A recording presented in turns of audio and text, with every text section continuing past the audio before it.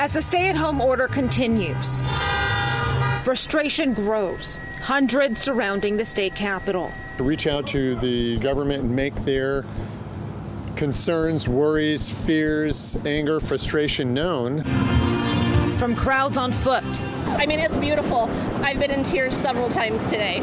I really have because it is the most beautiful thing I think I've ever seen. And then, bumper to bumper gridlock.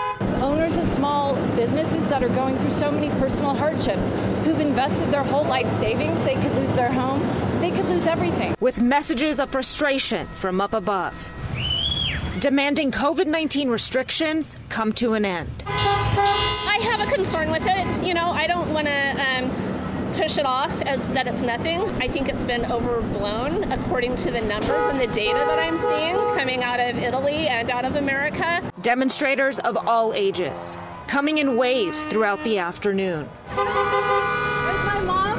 That's, there's my, my both of my aunts, Jen. In all, easily over a thousand, sending a strong message. To fight for all our freedom. Freedom! Freedom!